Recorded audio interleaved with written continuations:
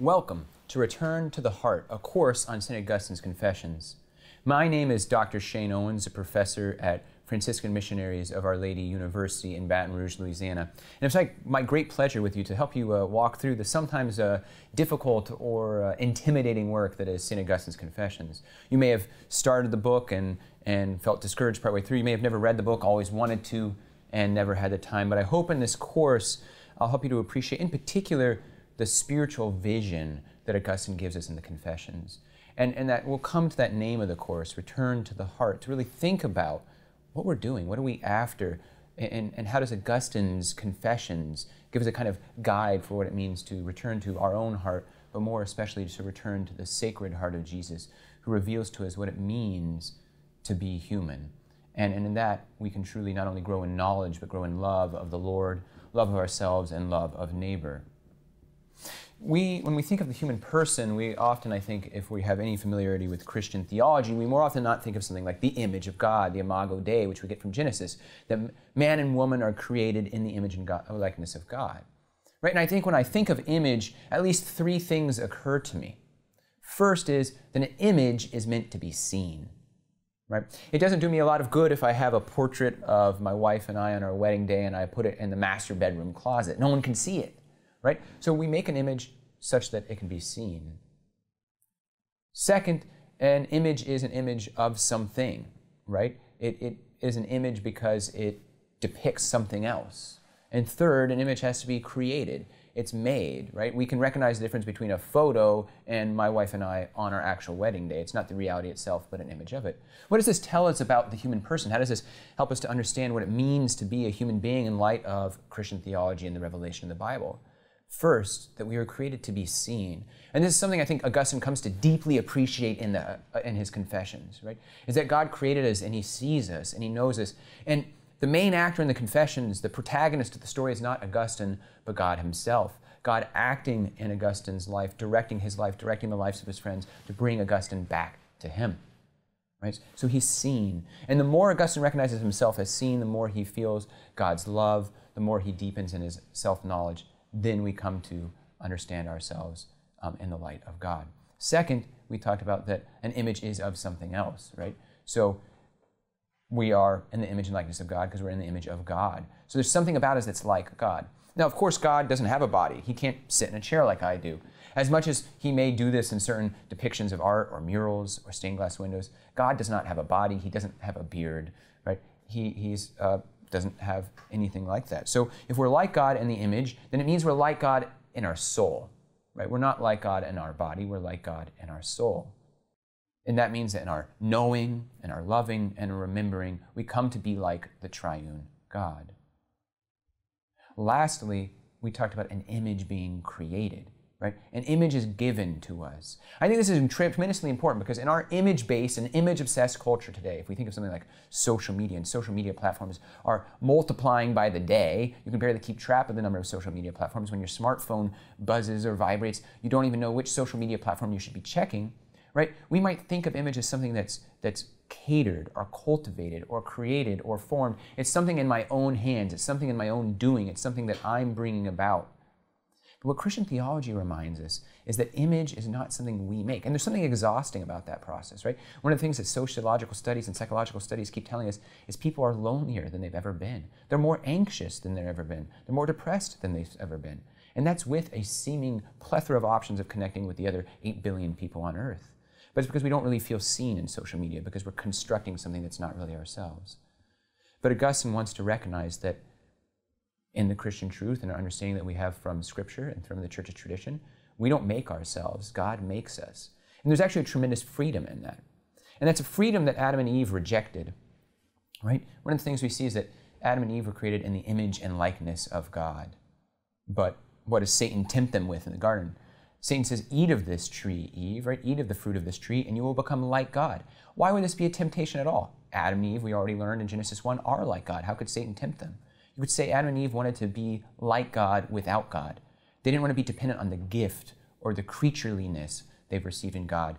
They wanted to be, be like God. They wanted to be in charge of themselves. They wanted to forge their own image and their own way. And we see that playing out in our society in so many different ways and questions of, of of euthanasia or gender or sexuality, where people want to create their own image.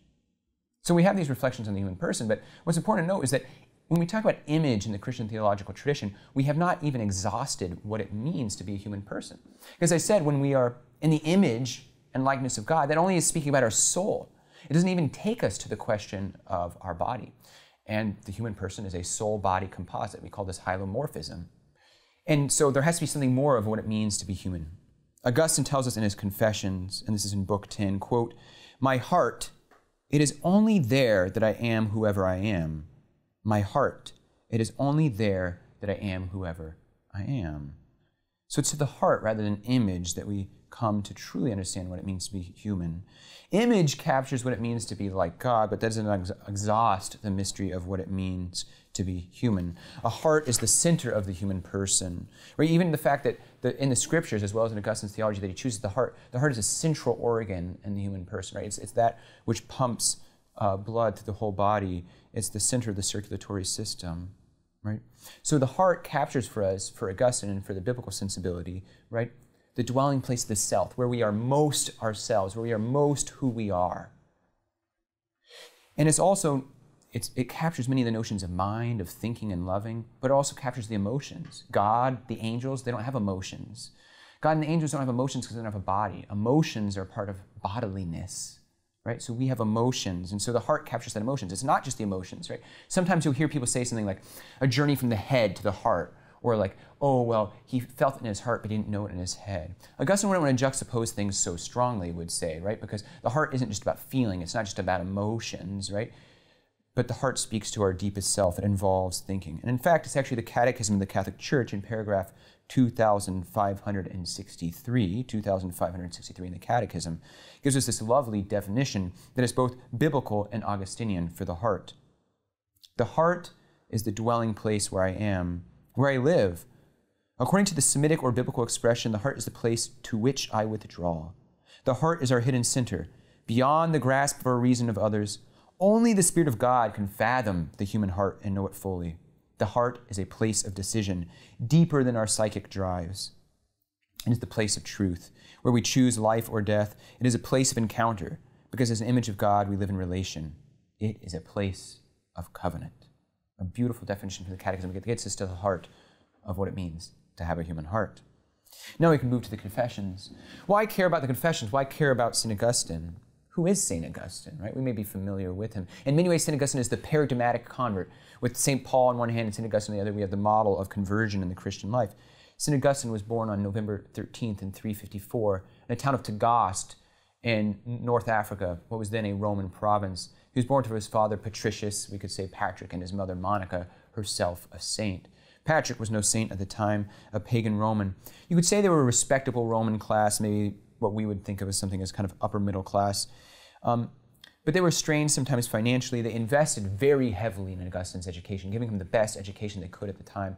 And Augustine succeeded. He excelled in his education. He was a brilliant intellect, uh, an affable spirit. People naturally were friends with Augustine his whole life. And he would rise to the very heights of his career. He would become the chief rhetorician for the emperor in Milan, which is the place, the, the seat of the imperial capital at the time. It's there in Milan that he meets St. Ambrose, and guided by St. Ambrose, inspired by his study of scripture and of philosophy, he leaves the Manichaeans, a sect we'll learn a lot more about later in this course, and he's baptized a Catholic. He'll return to Africa, where he wanted to live and study and leisure and relaxation with his friends. He'll be ordained a priest instead and later consecrated a bishop.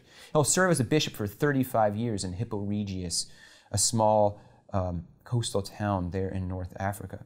Augustine has given us more than 5.4 million words, an unbelievable um, standard. We actually, in fact, have many of those here sitting next to me in this room, those 5.4 million words. But none are perhaps more famous to us as moderns than the Confessions. But his words become the foundation of all of Western Christian medieval thought. Figures like St. Bonaventure, St. Augustine, Alexander of Hales, Albert the Great, Peter Lombard, you name the medieval, Abelard, Bernard of Clairvaux, would frequently be found to say something like, Dicit Augustinus. It was said by Augustine, and then quoting Augustine, he was the preeminent, after the Bible, authority of medieval thought. But as much as he is precise in his philosophical and theological reason, he was more prized, I'd say, for his deep spiritual and psychological insight in what it meant to be a human person and to study the human person's straying from God and returning to God. And it's for this we value the confessions so deeply. A few prefatory remarks when we think about the confessions and what it means to read them. First is you'll hear when I talk about the confessions that we're going to speak of books, right? Now, when people hear books, they might hear, oh, the confessions is 13 books. We shouldn't imagine 13 volumes on a bookcase, right? That's not the kind of book. Instead, let's think about books of the Bible, like when we talk about the book of Genesis or the book of Psalms. So maybe like chapters, but like we said, biblical books. So we have these 13 books. The second is a matter of translation. There are numerous translations of the confessions, many quite impressive. Maybe the most famous and most familiar to many Christians would be that of the great apologist Frank Sheed. There's also the famous translation of the Oxford Don, Henry Chadwick. I'll instead, in this case, in this course, be referring to the translation of the, of the late British Benedictine sister, Maria Boulding. Boulding's command of Augustine's Latin and the richness and vivacity of her English uniquely capture Augustine's prose and a lucid and lyrical voice, and so we will treasure hers. And many times we'll actually see that I think her translation gets to truths that might be lost in other translations. And the other thing to note is when we have Bible passages in your reading of the confessions, they may seem a little different, and they may not look exactly like the versions of these quotes that you would have in your own Bibles, and that's because in the confessions, Augustine is using what is known as the Vetus Latina, or the Old Latin, which is a North African translation of the Bible, of the Greek Old Testament and the Greek New Testament into Latin. And this predated St. Jerome's Latin Vulgate, which would become the default Latin translation of the later church history and remains the official translation of the church today. What is the Confessions? What is this work? The St. Augustine's Confessions is often described as maybe the first autobiography of the West, or the first introspective autobiography. Although, if we pick up the Confessions and we start reading it, it seems clear to me that the Confessions is not like most other autobiographies we could ever encounter. One, it seems very uneven in its treatment, right? You might expect an autobiography to, to really cover most of a person's life, give us some sense of where they were born, what their family was like, um, events of their childhood, right? We expect details and dates and places and names, and there are a few uh, references to his age and a few places at least when he moves city. But Augustine's Confessions is not an autobiography in any way like this, like many that you would find in your uh, used bookstore today on any famous figure. Right? It's not an autobiography in that way. His selection of events is punctuated and surprising. He infrequently um, will focus uh, in great detail on events, sometimes just moving through them quickly and generally. The sin he spends the most time talking about is a teenage theft of pears, not exactly for someone who we expect to have uh, reflections. Right? He's the great famous sinner turned saint. We might expect him to give us all kind of, my students want scintillating details or an expose of the kind of things he did.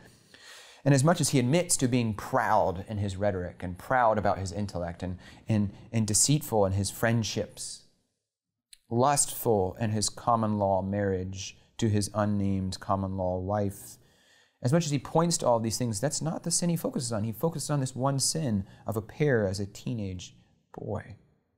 His baptism is narrated just in passing. The climax of his entire conversion is told in merely a sentence.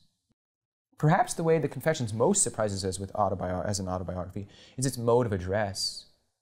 Most often, when we think of an autobiography, we think we're going to get a lot of first person. I did this, I did that, right? And there is certainly first person in the Confessions, but the whole of the Confessions is really framed in the second person.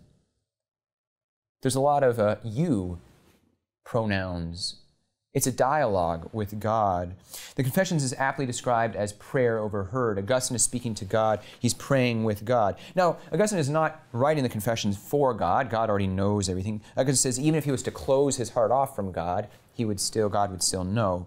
But he confesses to God, he prays before God because he has to do so for himself. One, because he knows that it's in praising God that his heart finds rest in God. But also because he knows that it redounds to God's glory and it's it's what other souls need. It's what other people need. They need to know how God has acted in Augustine's life. Because if other people could see how God has acted in Augustine's life, if they can see how God's mercies are so vast, and they have taken Augustine from such a deep place of sin to this powerful place of service in God's vineyard, then they too can expect God to work like this in their life. And Augustine wants other people to come to confess God as he did. So when we think of the word confessions, we shouldn't primarily think of the idea of confessing sins, as Catholics do in the sacrament that we would call penance, reconciliation, or confession. He you know, undoubtedly mentions his sins and he confesses his sins before God, right? He does have a kind of personal examine of his sin, but as I said, it's not a scintillating expose. He does not want us to find his sins attractive. Sin is always presented as disintegrating, imprisoning, or starving Augustines. It's not really about sin as much as it is God's mercy for our sins and the way that God brings us back to Him so that we can return to ourselves and return to our hearts. And thus we can thank and confess His name.